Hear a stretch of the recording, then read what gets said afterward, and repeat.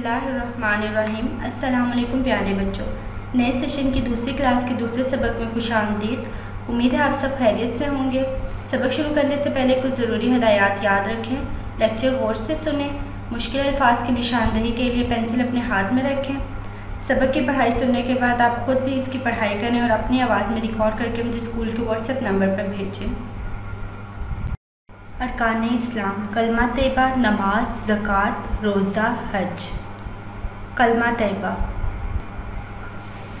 कलमा तयबा इस्लाम का पहला रुकन है। मुसलमान होने के लिए सच्चे दिल से ये कलमा ला इलाहा इल्लल्लाहु मोहम्मद रसूलुल्लाह पढ़ना ज़रूरी है। कलमा के, कलमा तयबा के पहले हिस्से में तोहद का ज़िक्र है, यानी इस बात की गवाही ना सिर्फ़ ज़ुबान से, बल्कि दिल से भी दी जाए कि अल्लाह ताला एक है, इसका कोई शरीक नहीं और वही इबादत के लायक है। कलमा के दूसरे हिस्से में रसालत का ज़िक्र है, यानी इस बात की गवाही देना कि हज़रत मोहम्मद सल्लल्लाहु अलैहि वसल्लम अल्लाह ताली के आखिरी रसूल हैं। नमाज़। इस्लाम का दूसरा रुकन नमाज़ है। नमाज़ के लिए कुरान मजीद में सलाद का लफ्ज़ आया है। मुसलमान दिन में पाँच वक्त नमाज़ अदा करते हैं। पाँच नमाज़ों का अदा करना हर मुसलमान पर फ़र्ज़ है।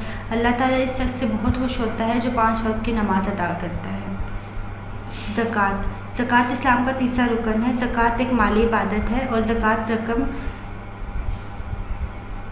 और ज़क़़त वो रकम है जो मालदार मुसलमानों का अपनी हलाल कमाई में से कुछ हिस्सा हकदार गरीब मुसलमानों को हर साल देना फ़र्ज़ है। ज़क़़त गरीबों की मदद करने के लिए अदा की जाती है। ज़क़़त अदा करने से बाकी माल पाक हो जाता है। रोज़ा इस्लाम का चौथा रुकन है। रोज़ा को अरबी ज़ुबान में सोम कहते हैं। सुबह सादिक से सूरज गरूब होने तक कुछ ना खाना पीना और बुरे कामों से बचने का नाम रोज़ा है। हर साल रमज़ान मुबारक के महीने के रोज़े रखने फ़र्ज़ है।